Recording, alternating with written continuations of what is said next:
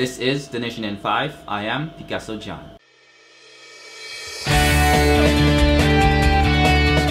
What do you turn to for the best in radio when you want to know what's happening in news and sports and for exciting educational programming. And tell me this where do you turn for the best quality music and entertainment in SVG? You turn to NBC. That's who, your family action station. Let the others talk. We stimulate the brain. 90.7, 107.5. St. Vincent and the Grenadines Parliament was meeting Friday but without the presence of the opposition. The opposition members were again boycotting the sitting of the House of Assembly. The Speaker of the House, Hendricks Alexander, read from a letter where the leader of the opposition, Arnhim Eustace, said they were staging the boycotting over a number of issues, including the poor fiscal and economic situation of the country. And he had intended to refer to Rule 74, one of the standing orders in determining whether this move is in conformity.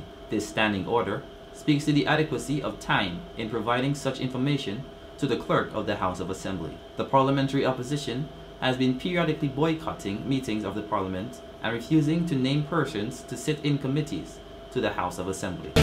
Turn to for the best in radio when you want to know what's happening in news and sports and for exciting educational programming. And tell me this where do you turn for the best quality music and entertainment in SVG? You turn to NBC. That's who, your family action station. Let the others talk. We stimulate the brain. 90.7, 107.5 FM. The annual National Independence Ecumenical Service of Thanksgiving takes place on Sunday, and organizers have harnessed the input of a wide cross-section of the faith-based community to actively participate in the program. In fact, the churches have organized the event to mark the nation's 35th independence anniversary in association with the Christian Council. The religious leaders will share the program with two main political leaders, Dr. Ralph Gonsalves, Prime Minister, who will read the Old Testament lesson, and Arnhim Eustace, leader of the parliamentary opposition, who will read from the New Testament. Prayers will be done for the church political and civil leaders, the family youths,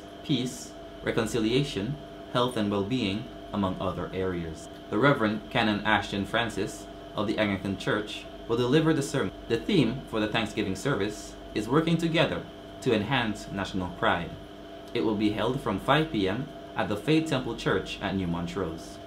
Turn to for the best in radio when you want to know what's happening in news and sports and for exciting educational programming. You turn to NBC. That's who, your family action station. Let the others talk. We stimulate the brain. 90.7, 107.5. Six students will compete on Saturday for the privilege to represent the Girls High School at the National Secondary Schools Miss Heritage Pageant next year. The GHS will stage its internal pageant at the Russell Cinema at 7 on Saturday night.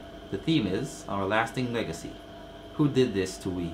The young ladies have been asked to select one woman who they believe has contributed significantly to the development of St. Vincent and the Grenadines, and they will portray their selection on stage. Ragisha Hazel has chosen the Education Minister, Roland Miguel. Kenisha Llewellyn will pay tribute to retired health administrator, Dr. Kathleen Kitty Israel. Keith Miller chose lawyer and former parliamentarian, Rene Baptiste. Adrian Straker will pay tribute to social activist and former public servant Nelisa Robinson. Kayla Phillips chose Diana Day Hines, a self-employed entrepreneur, while Nelisha Williams will pay tribute to tourism expert Vera Ann Barretta. Organizers say they expect a keenly contested show.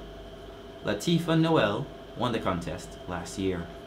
Turn to for the best in radio when you want to know what's happening in news and sports and for exciting educational programming. NBC. That's who, your family action station. Let the others talk. We stimulate the brain. 90.7, 107.5. In sports news, St. Vincent and the Grenadines Prime Minister, Dr. Ralph Gonsalves, said he had submitted some proposals to West Indies cricket officials that can be used to resolve the ongoing problems between the board and players. He did not go into details, but said in Parliament Friday that he had written to the WICB president, setting out a proposal for a framework for a possible resolution to the issues. Following an emergency meeting on Barbados Wednesday, the WICB decided to set up a task force to meet with the Board of Cricket in India.